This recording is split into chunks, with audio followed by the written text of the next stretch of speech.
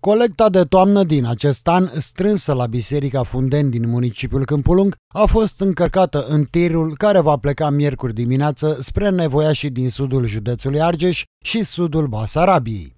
Oamenii cu dare de mână au adus saci cu alimente, haine, dar și detergenți pentru cei aflați în nevoi. Părinte, iată că mâine plecați cu aceste ajutoare, unde ajung ele și uh, câți de darnici sunt mușceleni?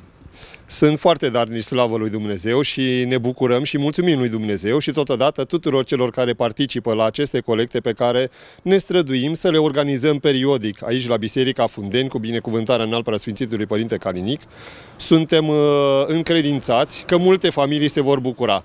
Cel puțin 100 de familii din sudul județului Argeș și cel puțin 100 de familii din sudul Basarabiei, la care, cu ajutorul Bunului Dumnezeu, vom ajunge zilele următoare. Mâine în sudul Argeșului și apoi uh, plecăm în Basarabia împreună cu sectorul social al Arhiepiscopiei. Ce le oferiți?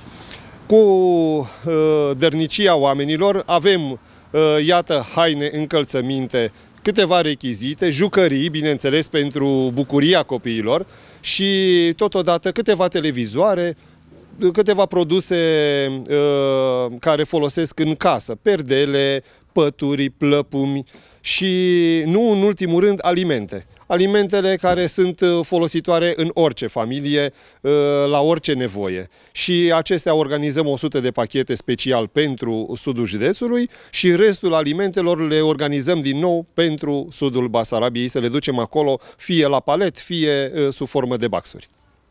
Drum bun și vă mulțumesc, Părinte. Bunul Dumnezeu să vă binecuvinteze pe toți. Și vă mulțumim mult pentru ajutorul pe care ni-l oferiți.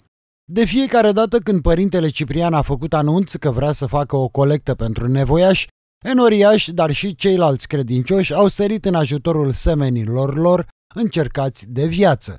Și de această dată, ajutorul oferit de părintele Ciprian și de credincioși va aduce zâmbetul pe fețele celor care au nevoie de strictul necesar.